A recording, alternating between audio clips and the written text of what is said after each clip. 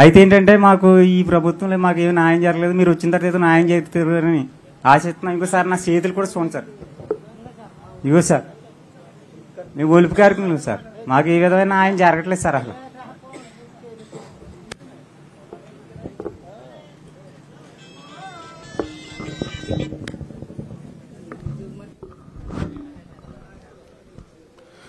నా రెండు రోజుల క్రితం పాదయాత్ర చేస్తున్నప్పుడు కొబ్బరి కార్మికులు నేను నేరుగా కలిసా.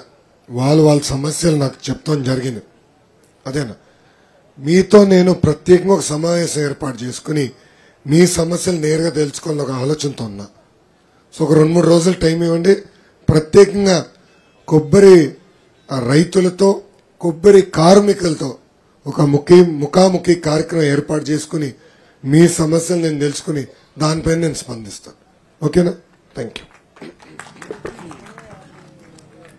అన్నా అది కళ్ళుగీత కార్మికులకు తెలుగుదేశం ప్రభుత్వం బుచ్చిరాజు గారు ఉండగా ఆదరణ టూ అని పదివేలు ఆదరణ ఇచ్చారు సార్. అక్కడి నుంచి బీసీ కార్పొరేషన్ పిల్లి సత్యబాబు గారి ద్వారాగా రిజిస్ట్రేషన్ చేయమని చంద్రబాబు నాయుడు గారు రప్ప చెప్తే అది రిజిస్ట్రేషన్ చేయించాం రిజిస్ట్రేషన్ రిజిస్ట్రేషన్ లాగా ఉండిపోయింది ఇలా ప్రభుత్వం మారిపోవటం వల్ల కళ్ళుగీత కార్మికులకి బీసీ కార్పొరేషన్ నుంచి ఇంకేది రాదు సార్. నేను ఎమ్మెల్యే గారిని కూడా అడిగాను సార్. ఈయన వచ్చారని ఇది సతీష్ గారు వచ్చారని నిలదీసి అడిగితే మాకు అది అన్ని కులాల్లో ఒకటేనండి. అందరికీ ఒకటే వచ్చింది. గీత కార్మికులు ప్రత్యేకంగా పెట్టలేదు బాబు. ఉంటే నేను చేస్తానని నేను వెళ్ళిపోరాను ఊళ్ళోకి వస్తే.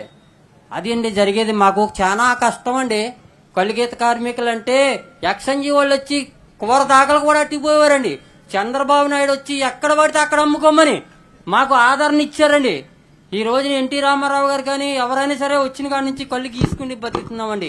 ఇది ముప్పై సంవత్సరాల మటు నుంచి నా పిల్లల్ని నేను పోషించుకున్నాను అలాగ ఒత్తిలోకి ముప్పై సంవత్సరాల నుంచి గీసిన వల్ల యాభై సంవత్సరాల ఒత్తిలోకి నరాల చచ్చిపడిపోయండి. ఆ ప్రాబ్లం వచ్చి నడుము అరిగిదల వచ్చి ఆ యాభై సంవత్సరాలకు ఒత్తిలోకి మాకు ఎటువంటి చెట్టు లేకపోవడం కానీ కుటుంబం సాగడం కానీ ఒక ఐదు నెలలు కొల్లిగీత ఉంటుంది సార్. అక్కడి నుంచి ఖాళీగా ఉంటాం సార్. చేతన అవుతే వ్యవసాయం పని చేసుకుంటాం. లేకపోతే ఆ నిరుద్యోగుల కింద ఉండవలసిదే. ఆడవాళ్ళు ఏ ఇంటి పని చేసో అప్పుడు పో- పోషించడం అవుతుంది సార్. కొల్లిగీత అంటే చాలా కష్టం సార్. దాని మీద జీవిస్తాం సార్. ఎప్పుడు కూడా నేను. ఇది అయిపోతే మళ్ళీ ఈత చెట్లు గీసుకుంటాను సార్. రెండో పని చేయను సార్.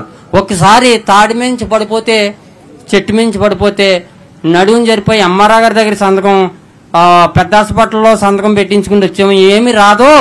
యాభై ఏళ్ళు చచ్చిపోతే ఇస్తారు తప్ప కానీ ఇంక రెండో దానికి లేదు కలిగీత కార్మికులకి. అన్నాడు సార్.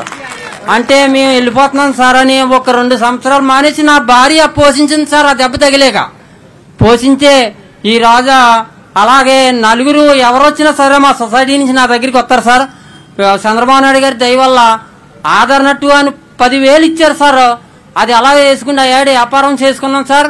అక్కడి నుంచి ఇలాగా బీసీ కార్పొరేషన్ ప్రెసిడెంట్గా పిల్లి సత్యబాబు గారిని ఇస్తే బుచ్చిరాజు గారిని అడిగి అలాగే మా ఎంపీటీసీ ఈయన ఎం- మండల ప్రెసిడెంట్గా నల్లబాబు గారు ఉన్నారండి. ఆయన్ని తీసుకుండి మొత్తానికి వెళ్ళండి. గంగసూర్యనారాయణ గారిని వీళ్ళందరినీ కూడా తీసుకుని వెళ్ళండి. మండలంలో జాయింట్గా కలెక్టర్ గారిని నేను అడిగాను సార్. సొసైటీ ప్రెసిడెంట్లు మాకేం తెలియదు అన్నారు సార్.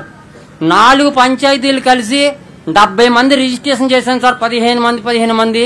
అలాగే నెలలు తిరిగి మేము నేనే కలెక్టర్ ఆఫీస్కి వెళ్ళి తీసుకెళ్ళారు సార్. అది రిజిస్ట్రేషన్ అయి ఉన్నాయి సార్ అవి మీకు పంపిస్తాం సార్. మాకు అంతవరకు న్యాయం చేయాలి సార్. అది లేకపోతే చాలా కట్టం సార్ కొలిగేదంటే ఈ రోజున చంద్రబాబు నాయుడు దయ వల్ల ఎక్కడికి వెళ్ళినా సరే అండి అట్టుకుని తీసుకుపోయి మా కుర్రోళ్ళని పెట్టి వెళ్తే కుర్రోళ్ళని తీసుకుపోతాం ఆడవాళ్ళని తీసుకుపోతాం చేసేవారు సార్ ఎస్ఎంజీ రెడ్డి. అది కాంగ్రెస్ ప్రభుత్వంలో సార్. తొప్పలంటే అమ్ముకుంటూ వాళ్ళం. చంద్రబాబు నాయుడు గారు వచ్చాక మేము ఎక్కడ అమ్ముకున్నా అడ్డు లేదు సార్ మాకు. ఈ రోజుని అది మాకు ఒకటి పెట్టారు సార్. ఇది పీడబ్ల్యూ నుంచి ఒక ఆదరణ కింద పెట్టండి. అందులో సెట్లు ఉన్నాయి కదా అది లీజు పెట్టుకోమని మా నాన్నగారు పెడితే అండి. ఆ మున్సీపీకరణాలు వాళ్ళ దగ్గర లంచం తీసుకుండి. ఎన్టీ రామారావు గారు సంతకం పెట్టింది.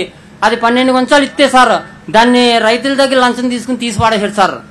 అప్పుడు అప్పుడు వెంటనే వచ్చి సార్ ఎన్టీ రామారావు గారు వాళ్ళని తీసి పడేసాక ఇది మొత్తానికి అలా మళ్ళా కాంగ్రెస్ ప్రభుత్వం వచ్చింది సార్. అప్పుడు అక్కడతో కథం అయిపోయింది సార్.